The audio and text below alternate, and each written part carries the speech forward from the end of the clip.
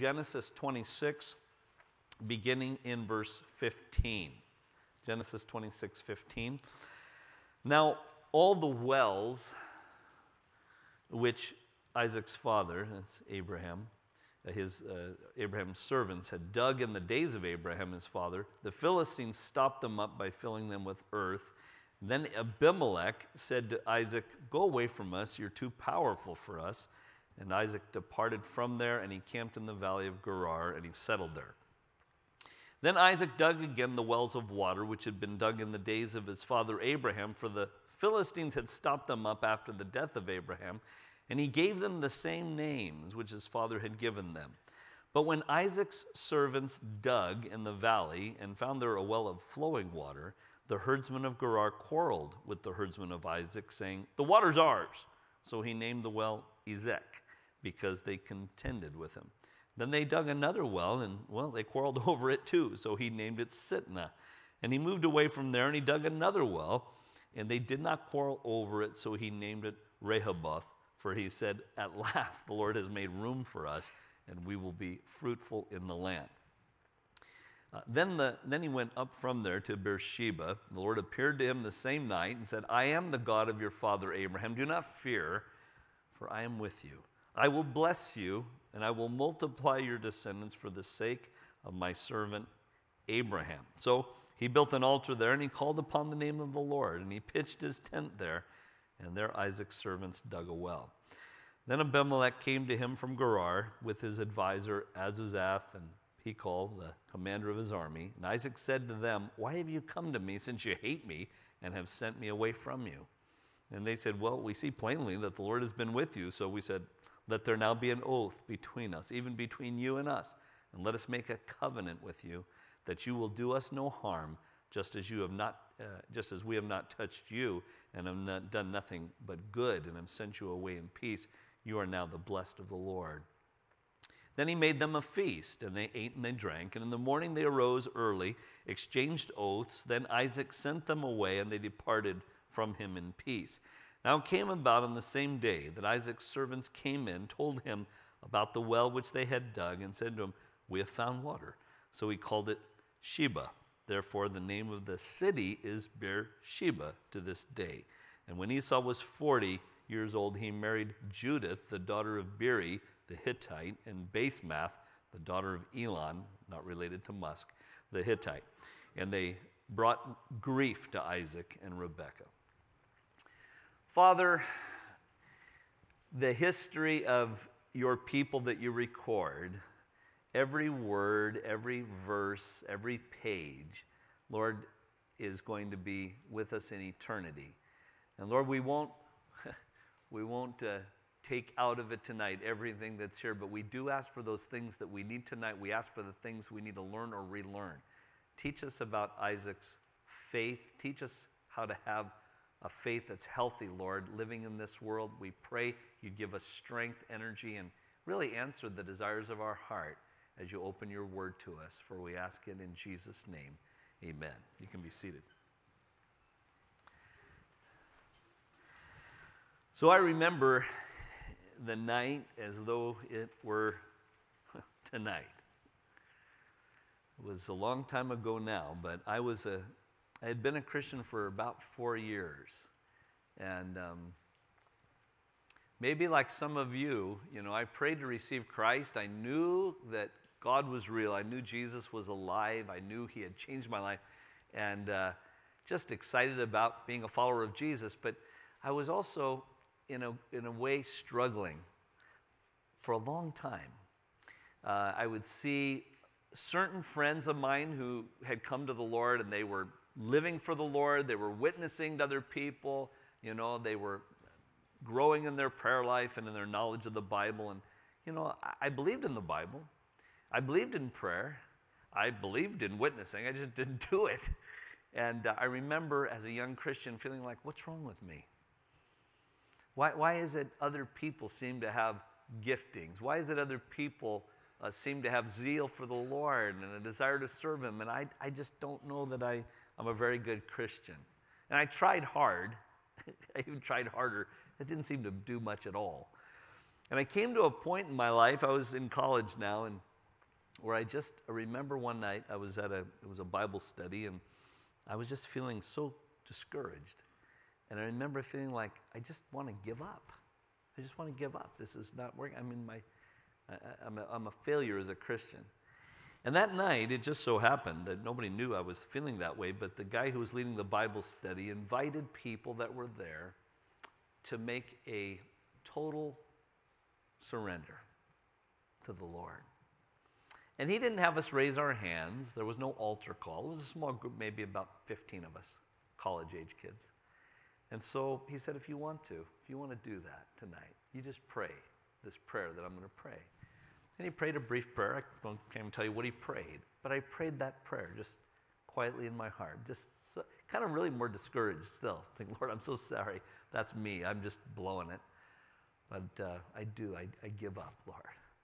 And and you know, it was almost like I felt like God was saying, I've been waiting for you to say that. Because literally that night, not only did I feel encouraged after I had prayed this prayer of consecration, but something radically started changing. And I don't mean in the next few years, I mean in the next few minutes after I prayed that prayer. And the way it manifested itself in my life is that I started wanting to read my Bible. Some of you have heard me share this before. I was a TV addict.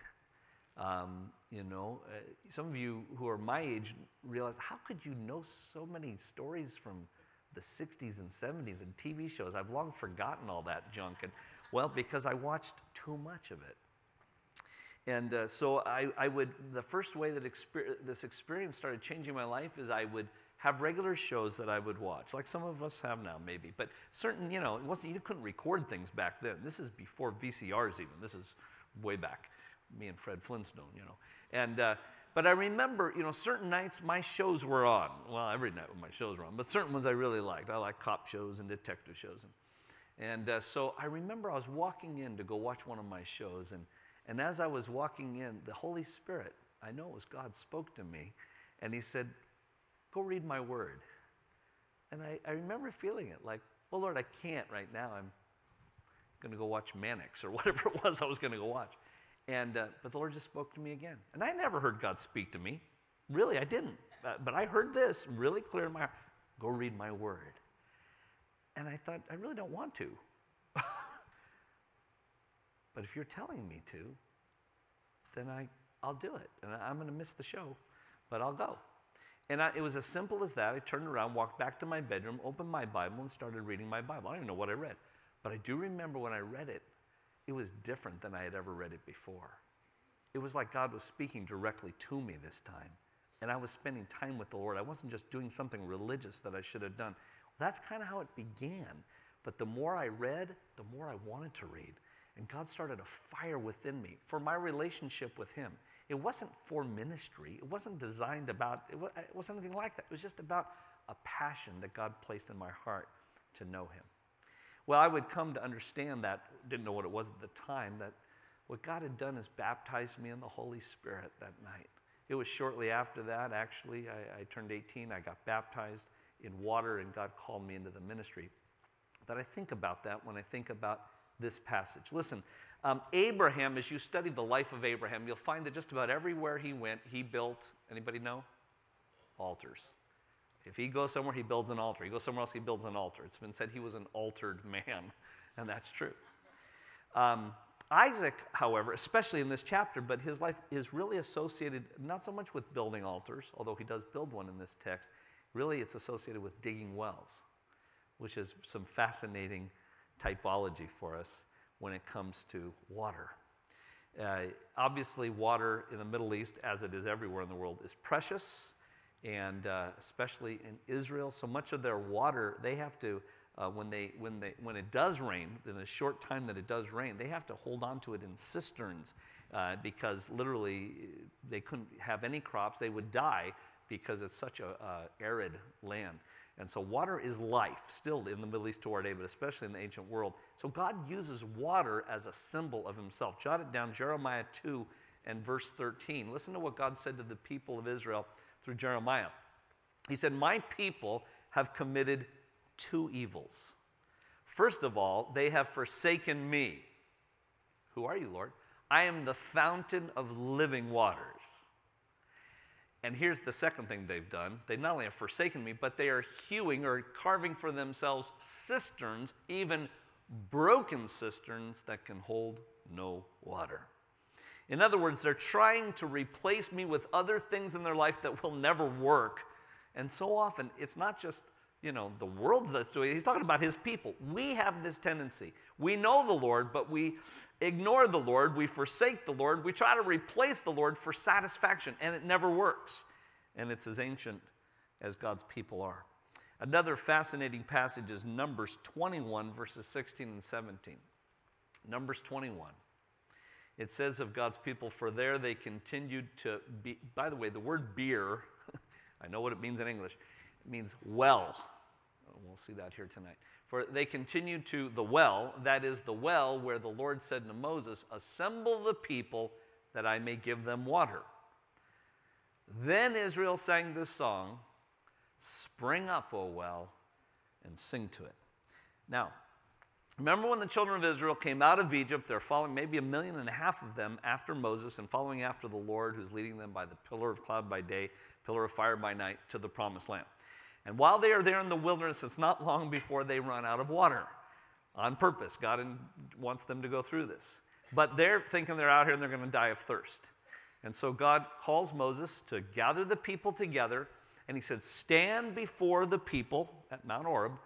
And he said, Here's what I want you to do you take that staff, Moses, and you smite the rock right in front of everybody. And when you do, water is going to pour out, and I'm going to provide for my people. This miracle happens, which, by the way, is interpreted in the New Testament, 1 Corinthians, that the rock is a type or a picture of Jesus Christ. You say, well, what do you mean? Well, that, that, it's the, that he is the source of life, but only after he is smitten. And so Jesus Christ dies on the cross and becomes the source of eternal life to man. It's a beautiful picture. But God told Moses to do that. It physically happened and literally water for a million and a half people to drink and have provision for their trip. However, later on, an interesting thing happens. Many of you remember this that they become thirsty again sometime later. And uh, so God says, gather them together again and this time, he doesn't tell him to smite the rock. What does he tell Moses to do? Speak to the rock. Just speak to the rock, and water will come out. That's a very interesting thing. Moses kind of loses his cool. He gets mad at the people. Shall I bring water for you, stiff? He's all ticked off. And so, what does he do? He hits the rock again with his staff twice.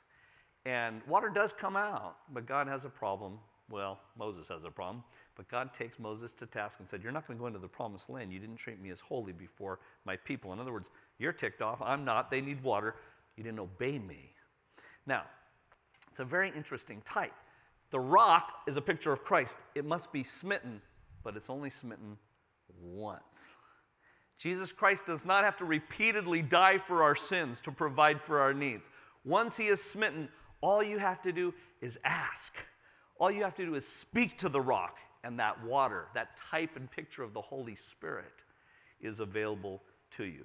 So, we're going to talk a little bit about the idea of this well and these wells that are being built and learn some principles about the Holy Spirit tonight. So, the first principle is this it's pretty obvious in the text, and that's the enemy seeks to stop the flow in our lives. The enemy seeks to stop the flow in verse 15 through 22. Take a look back here. We see all the wells which his father's servants had dug in the days of Abraham, the Philistines, so those are the enemies of God's people, stopped them up by filling them with earth. That's kind of interesting to me. If the water is a type and a picture of the presence of God and the power of the Holy Spirit, how does the enemy stop the flow of the life that comes from God? It's the dirt of the world. That is exactly the case. He uses the dirt of the world to clog up and choke off the flow of God's presence and God's power in our life. And I want you to jot down Mark 4 and verse 19. Remember what Jesus said? This is part of the parable of the sower. But the worries of the world, the deceitfulness of riches, and the desire for other things enter in and choke the word, and it becomes unfruitful. Take a look down in verse 16. Then Abimelech, he's the king of Gerar, said to Isaac, Go away from us, for you are too powerful for us. Very interesting. Here's a guy, God is blessing him. If you read the verses right before this, God has blessed him a hundredfold. He's becoming wealthy. He's digging wells, which is good for him and good for everybody. But his blessing is becoming a problem to the people of the land, even the king. And I think about when Jesus came to Gadara. Gadara is not a Jewish city, it's one of the 10 cities of what's known as the Decapolis. It's a Greek city. And yet there were some Jews that lived there, but there were also Gentiles. Most Jews would not even go there, but Jesus came with his disciples across the Sea of Galilee and entered into Gadara. And you remember the welcoming committee of Gadara? Yeah, it wasn't the mayor or the people, it wasn't the Jews, it, it was just one guy, a guy who we would say was absolutely nuts. Uh, because this man was demon possessed, had a legion of demons, thousands of demons inhabiting him out of control, lived in the tombs, used to take rocks and cut himself and bleed and scream and yell. I mean, he must have been an absolute nightmare for the town of Gadara. Uh, and Jesus, well, actually, the man runs out to Jesus. We know who you are, Jesus of Nazareth. The demons are speaking. I mean, it's this crazy scene. And you remember what happens how that Jesus commands the demons to leave the man and go into what? Yeah, a bunch of pigs, which tells you a little bit about how Jewish this was, uh, this community. But he, he casts them into the pigs. The pigs run down the hill and they drown themselves. But the man is, is released from the, from the demons, which has got to be a beautiful thing. The man is, I love this uh, verse. It just says that the man is next seen sitting at Jesus' feet, which is, remember, that's where Mary was sitting when he said to his sister, Hey, get in on this. He's sitting at Jesus' feet. He's clothed. How long has it been since the guy wore anything? I don't know. Somebody gave him some clothes or Jesus made him manifest. I don't know. But he's wearing clothes. And more importantly than everything, he's in his right mind. He's been saved. He's been rescued by Jesus. And all he wants to do is go with Jesus. And Jesus says, No, you know, can't do that. But what's very interesting is this beginning of a work of Gadara. You, I've always thought they should make Jesus the town hero or the mayor or something, you know. But what did the people of the town come out and say to Jesus? Same thing that Abimelech is saying to Isaac please leave. We don't want you here. Even though God is using you, God is blessing you, and it's good for us, we don't want you here.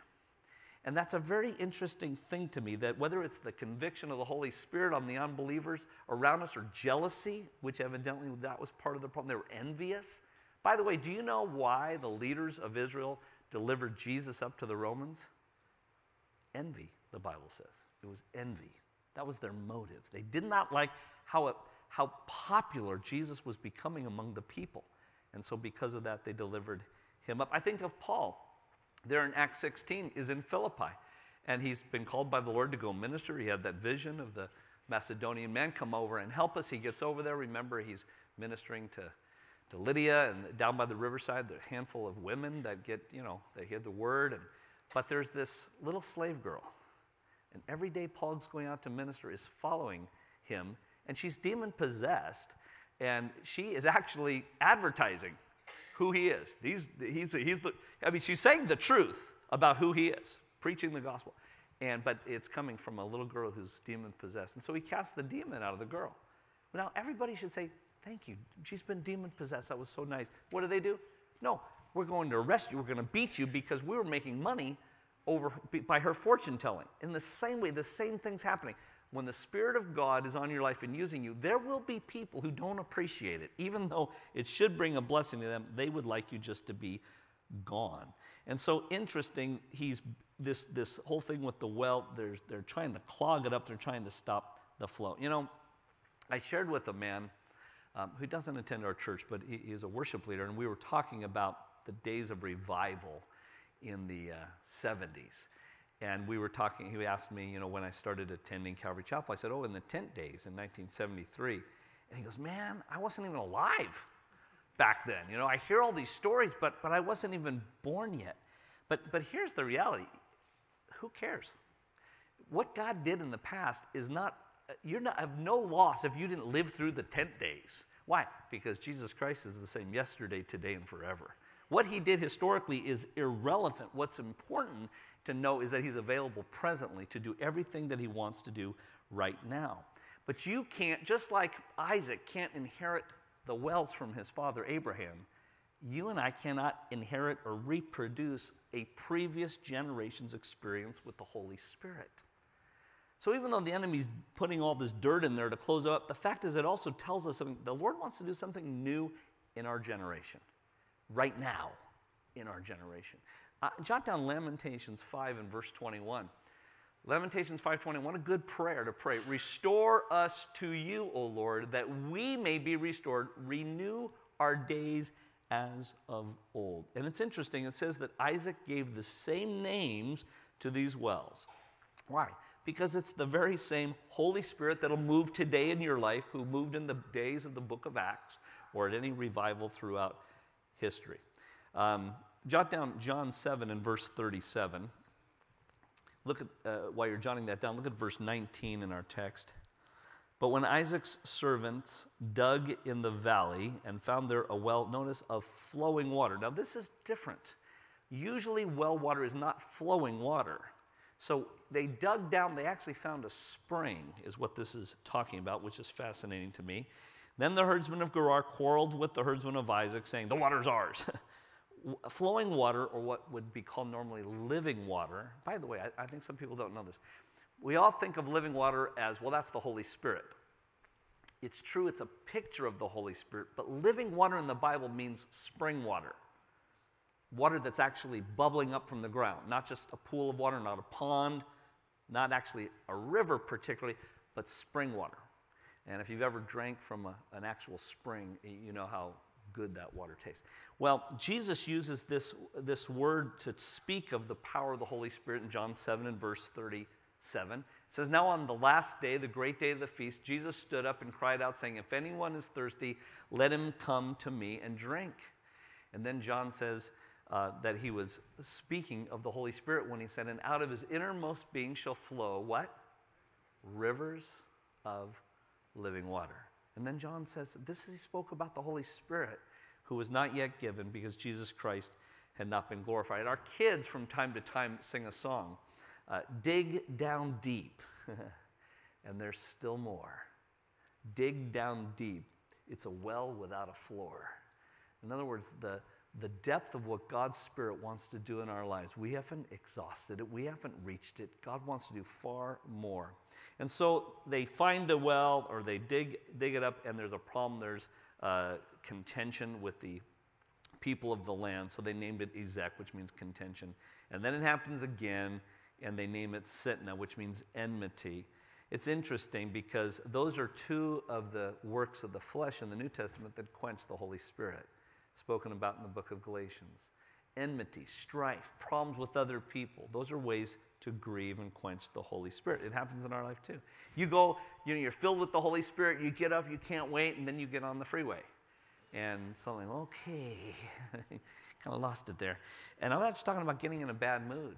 The fact is, sin separates us from God.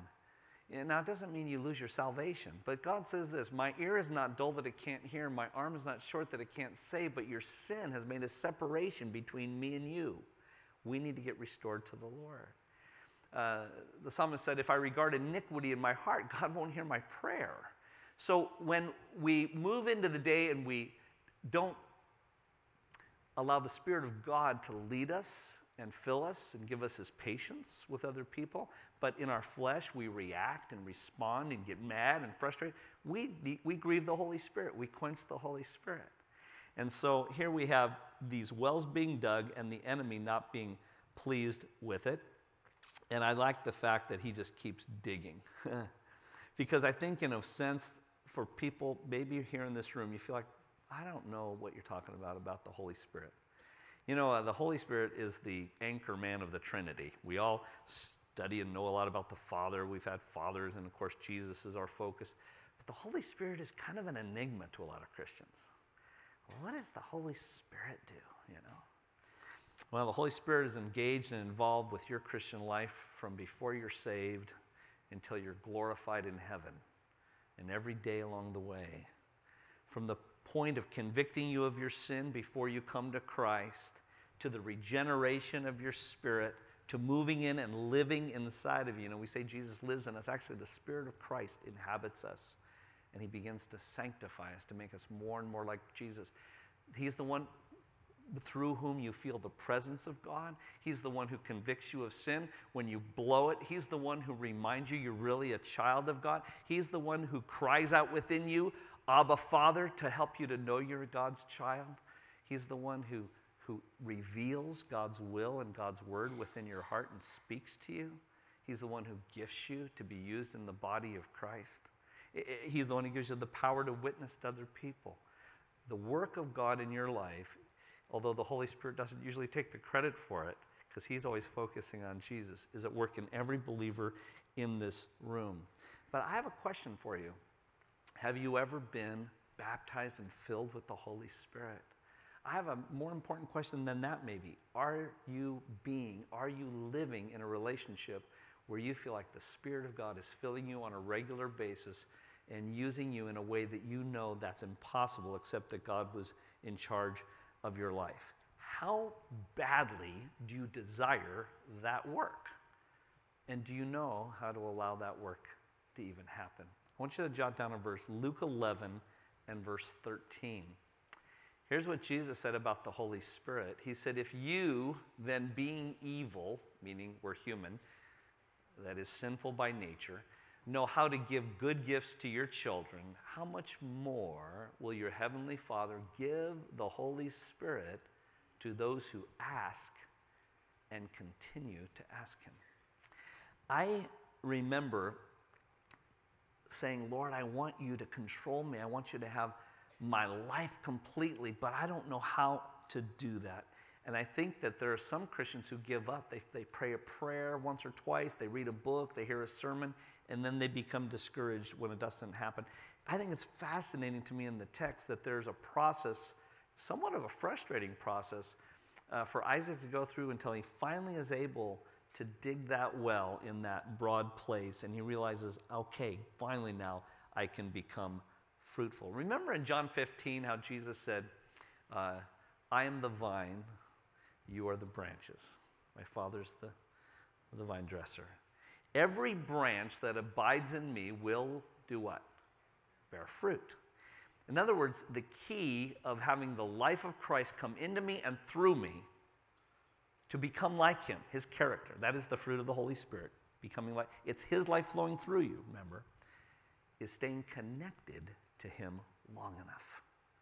When a branch stays connected long enough, it will bear fruit. That's it. So it's keeping from being disconnected that is so important that we learn how to do that. Now, so the first principle is the enemy seeks to stop the flow, and maybe he's been very effective in our lives to do that, but there's more. We need to meet God at the well. So if you want to jot that down, look at verse 23. Then Isaac went up from there to Beersheba. By the way, Beersheba is in the southernmost part of Israel, in what's called the Negev and uh, it's deserts. By the way, it's one of the larger cities in Israel. Over 200,000 people live there today. But uh, it is considered the southernmost city because you'll hear people in the Bible talk about all of Israel from Dan to Beersheba and down the south. But um, so he went up from where he was in Gerar to Beersheba, and the Lord appeared to him the same night. Now, I find it interesting. As soon as he's in this place, Beersheba means the well of the oath or the well of seven, could mean either one. And here, as soon as he gets there at the well, I, he hears God say, I am the God of your father Abraham. Don't fear, I'm with you. I'll bless you and multiply your descendants for the sake of my servant Abraham. Look at the reaction, verse 25.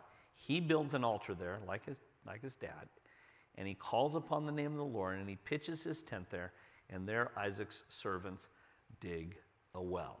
Now, Beersheba is already known as the place where oaths are made before this.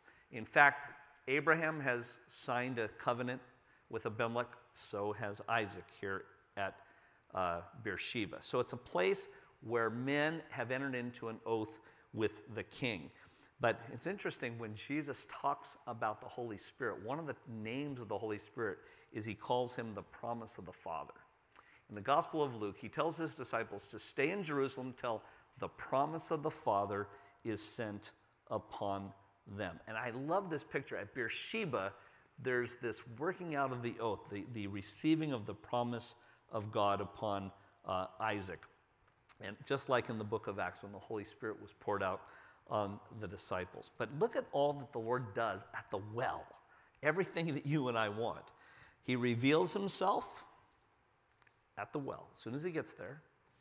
He speaks his peace, he promises his presence, he starts promising blessings upon him and his children. By the way, he gives him the covenant that was based totally on grace for the sake of another.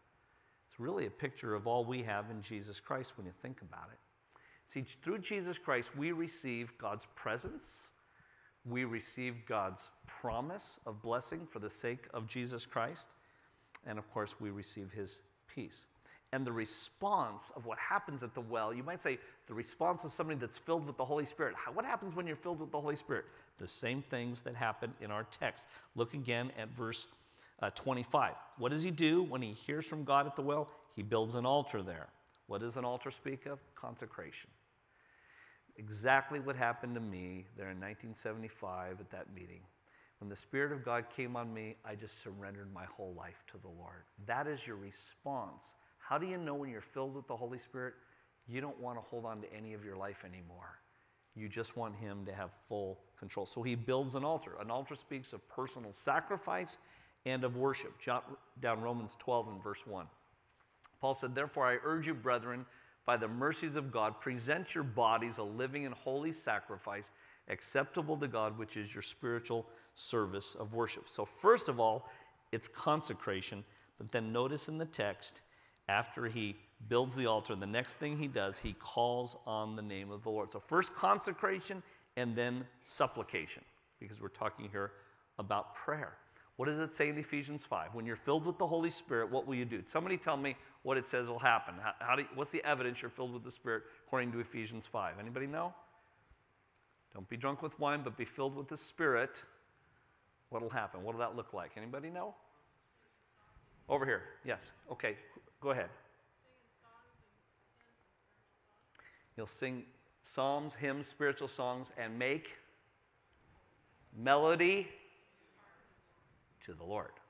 There's going to be communication. When you're filled with the Spirit, one of the evidences is not only are you dedicating your life to the Lord, but you're starting to communicate to the Lord more than you ever did. Your prayer life will start to change if you're filled with the Spirit of God. And then not only will you be making melody, which is a joyful communication to the Lord, but also it says you'll be giving thanks for all things in the name of Jesus Christ. More prayer.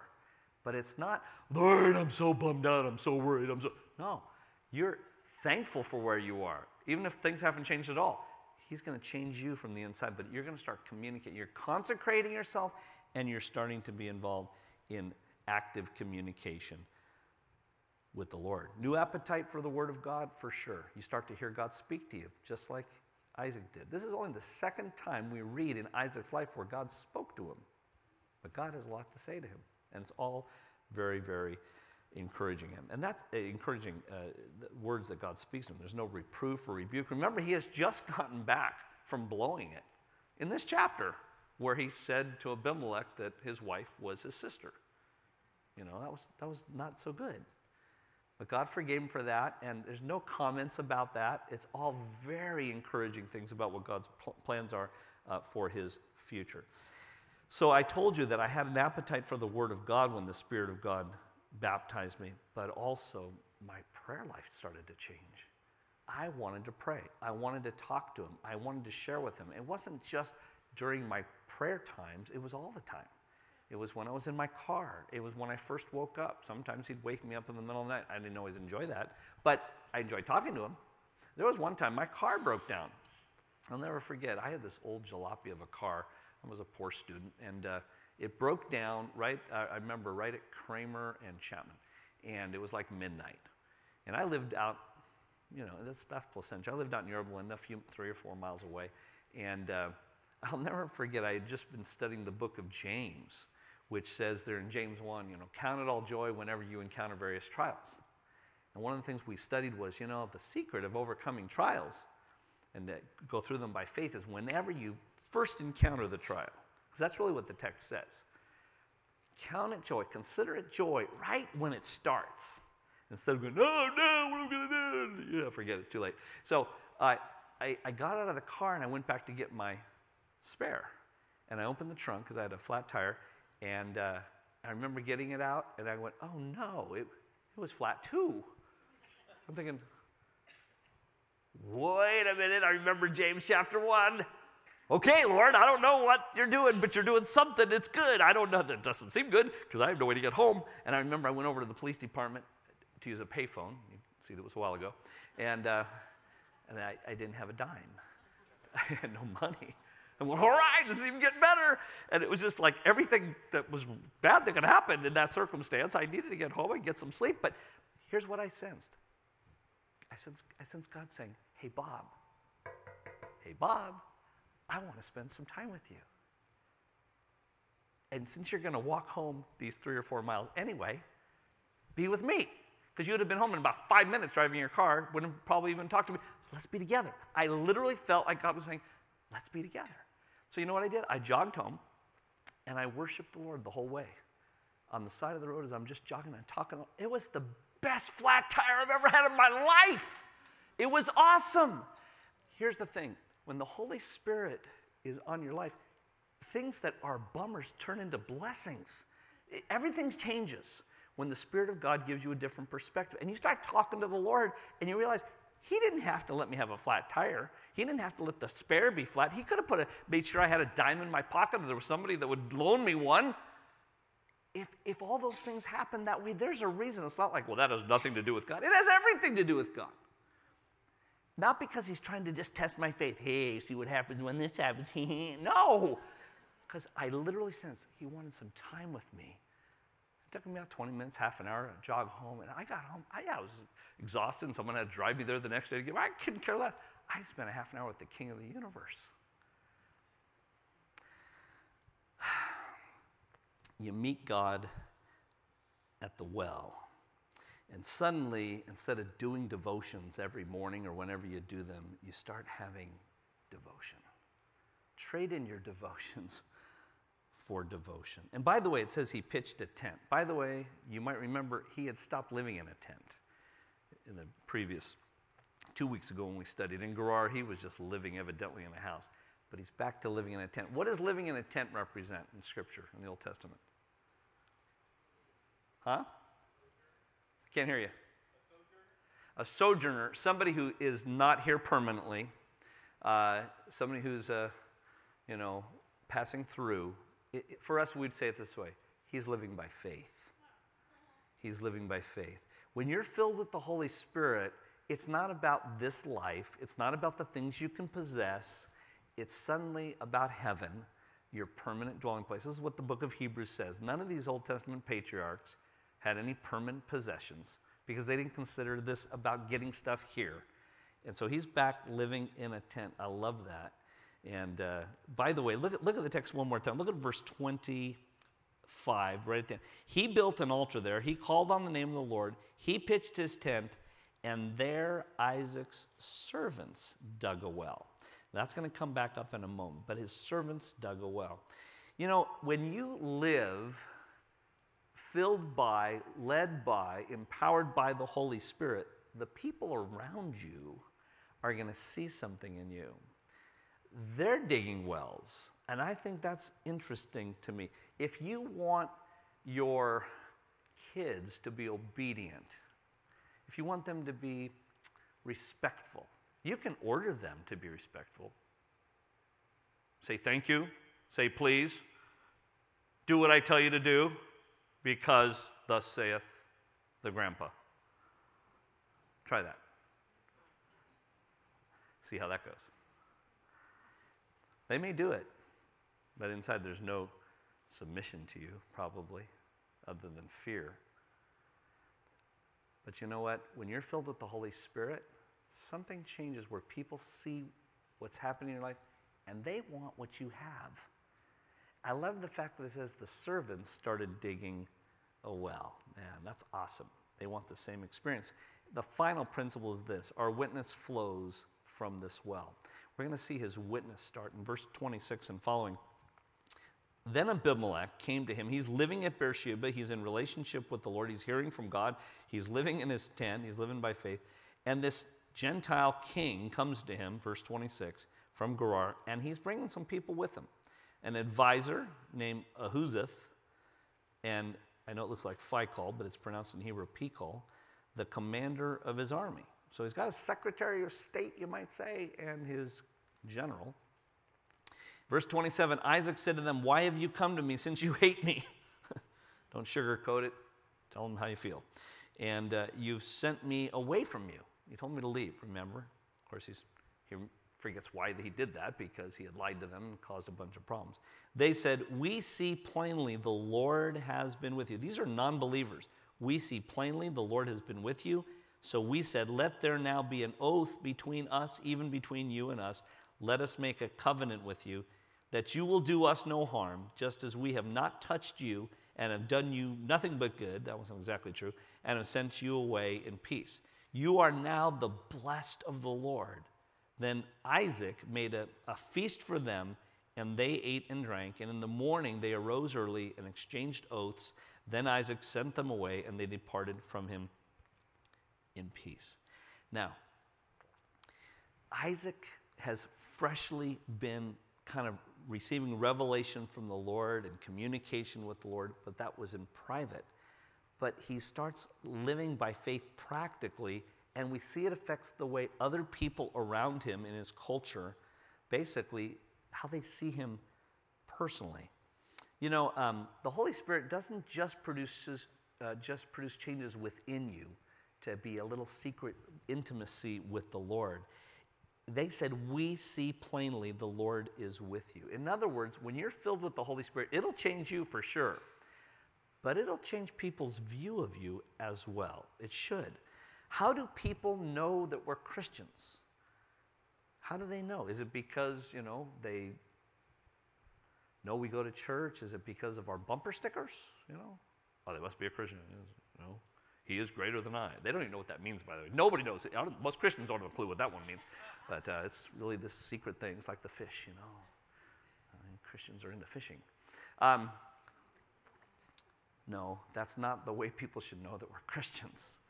We start humming, I am a sea, I am a sea. That's not it either. Um, but the work of God on our life should affect us in such a way that other people know there's something different. Jot it down, Isaiah 60, verses 1 through 3. Arise and shine, for your light has come, the Lord says, and the glory of the Lord has risen upon you. For behold, darkness will cover the earth, deep darkness the peoples, but the Lord will rise upon you, and his glory will appear upon you. So here's the idea God illuminates us so others can be drawn to him, kind of like a moth to a candle. Um, Psalm 18, verses 28 and 29, David says this For you light my lamp, talking to God, the Lord God, my God, illumines my darkness. For by you I can run upon a troop, and by my God I can leap over a wall. Do you hear what he's saying?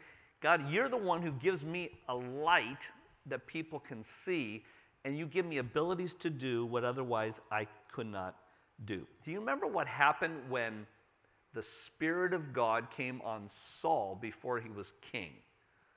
Somebody in here remembers that. Raise your hand if you can tell us. What happened when the Holy Spirit came on Saul before he actually became king. Yeah. He was found among the prophets and he was prophesying. Here's a, here's a great verse. Jot it down 1 Samuel 10 and verse 6. This is Samuel predicting, prophesying what's going to happen to Saul when the Holy Spirit comes on him. He says, Then the Spirit of the Lord will come upon you mightily, and you shall prophesy, which is what uh, it was just said. But notice this you will be changed into another man.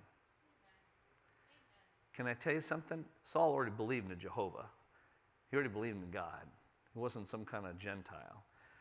He believed he was raised with faith in Jehovah. He was circumcised, he was a Jew. If you want to become more like Jesus Christ, if you want to become a different person. As a believer, the way that happens is the Holy Spirit coming upon you. Remember what Jesus said? He said to his disciples, Stay in Jerusalem till you be endued with power from on high. The Spirit of God will come upon you, and you shall be my witnesses. Until they already had the message, they had all the content of the gospel, but they didn't have the power. Not just, listen, here's something a lot of people don't understand. Witnessing isn't about just conveying information. Jesus said, You shall be witnesses. He didn't just say you will give information, you will be evidence. You will be witnesses that I'm alive. You'll know that I'm alive, but it's who you are, it's the way you're living that's going to be the witness. This is what a lot of people don't understand. It's not just about, I have the boldness now to tell people they need to get saved. No, it's about your changed life. It's a, you are an evidence, a witness of the resurrection. Why? Because the resurrection power is alive in you. And you're in love with somebody who you know is alive, but other people have never met. You are you will be my witnesses, you say. But it's when the Spirit of God is indwelling and coming upon each one of us. And so these enemies of Isaac make a, a peace treaty with him. Proverbs 16 and verse 7 gives us the principle. When a man's ways are pleasing to the Lord, he makes even his enemies to be at peace with him. Now it's interesting when Jacob, later in, in the book of Genesis, uh, is finally broken by the Lord. Remember, he's crippled by the Lord.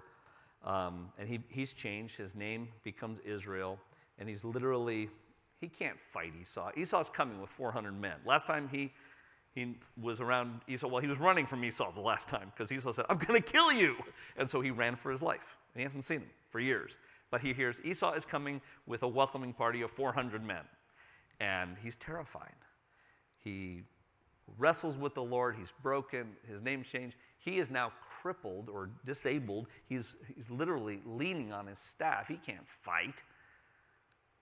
He's not going to even try.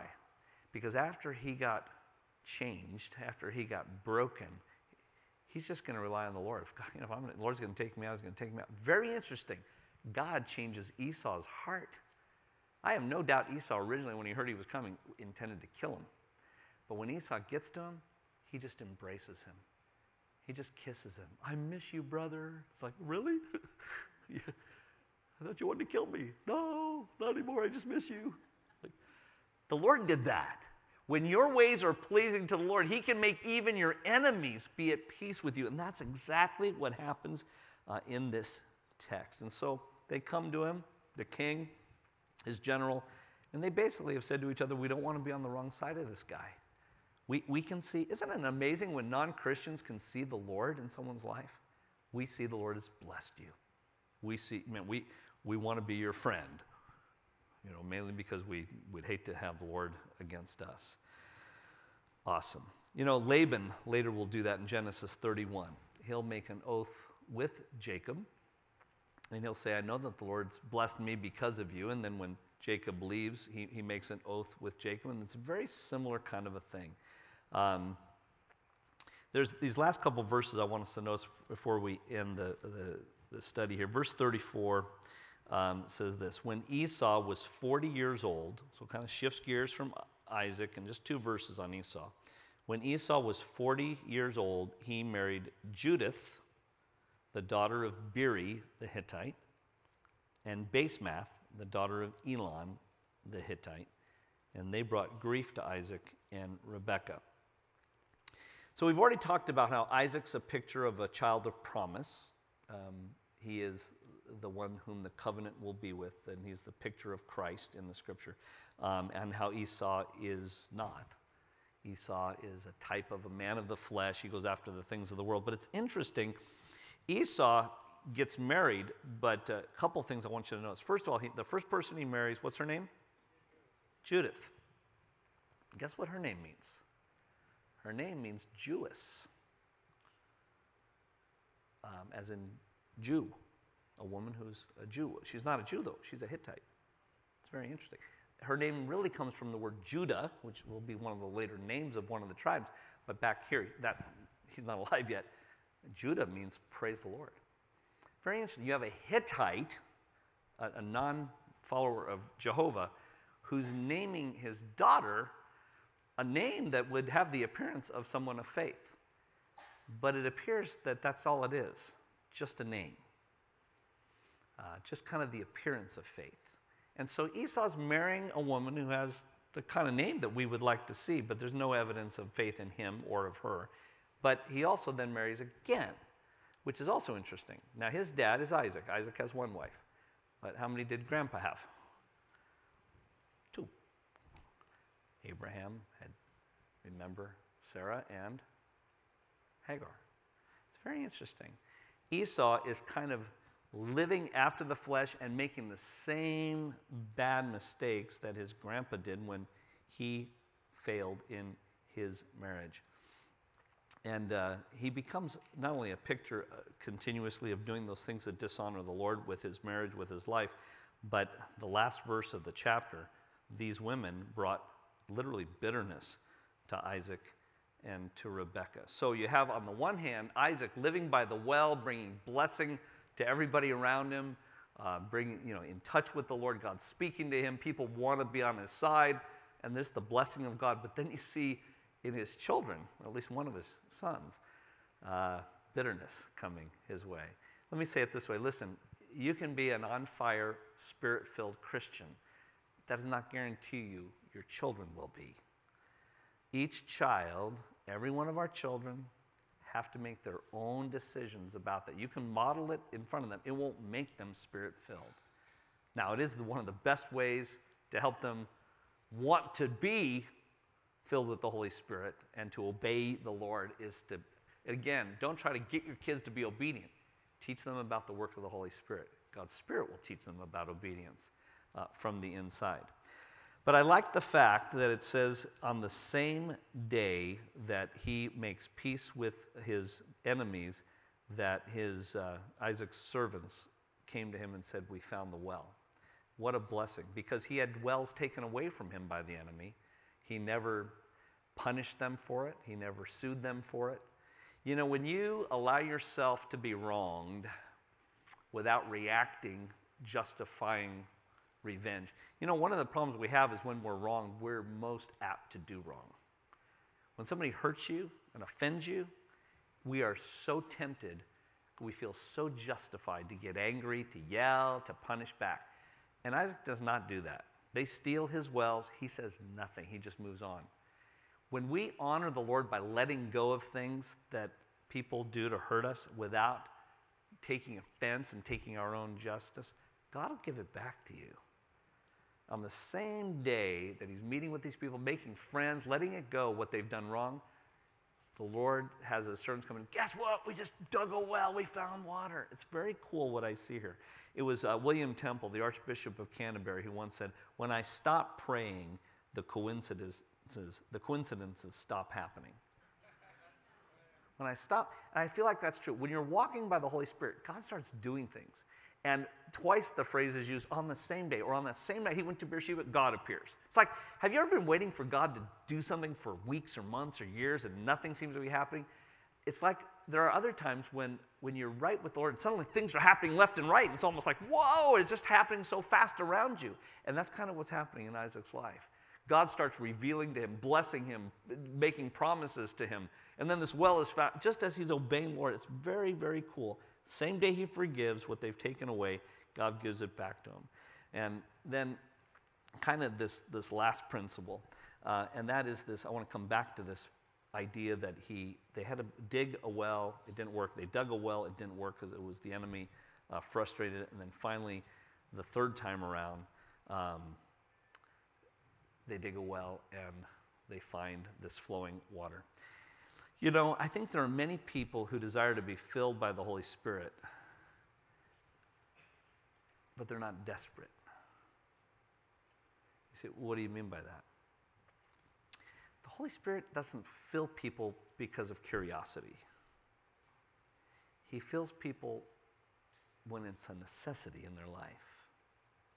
What did David say? As the deer pants word is only used one other time in the Old Testament. In Hebrew, it means to cry out. It speaks of animals who are dying of thirst, crying out to drink. As the deer cries out or pants after the water brook, so thirsts my soul for thee, O God. It's not enough to have a desire to be filled with the Holy Spirit. I think we have to be desperate. And we need to stay the course. We need to ask and keep asking. Jesus said, when you ask, don't give up. Remember when he talked about prayer? This is true of everything about prayer. He said that the problem is we ask and then we say, ah, God didn't want to do it. And he gave us an illustration. Remember the guy who has some friends come late at night. He has no food to put before them. So he says, oh man, I'll go next door. Go, it's late at night, knocks on the door. Hey, I need some food. I didn't get the Stater Brothers and I'm, I'm embarrassed. And, and what does the guy say? Go away. We're all in bed sleeping till you showed up. Come to the door. Go away. And Jesus said, The man will not get up because he's your friend and help you. But he will go up, get up and help you because of you won't stop knocking. Jesus said, Don't give up. Keep asking. Ask and keep asking, and it'll be given to you. May I encourage you, if you want a fresh work of the Holy Spirit, don't give up. Keep digging. There's still more. Let's pray. Father, I pray for those that are dry, those that are discouraged. I pray for those that feel like they haven't witnessed for you lately or maybe ever. I pray for those who feel like sin has crept back into their life and taken them captive again. Lord, or that their fleshly desires are so much stronger than their spiritual desires. I pray for those who struggle with praying, even when they've set time aside, and those who read the word and they feel like they get nothing out of it. Lord, I thank you that you have made all of us capable. In fact, you've made all of us designed for eternity to be spiritual beings who bring you glory. But Lord, every one of us needs the same work. We need to surrender our lives that you might control and consume and fill us afresh. So I pray for an outpouring of your Holy Spirit on me, on our church, on the body of Christ in Southern California.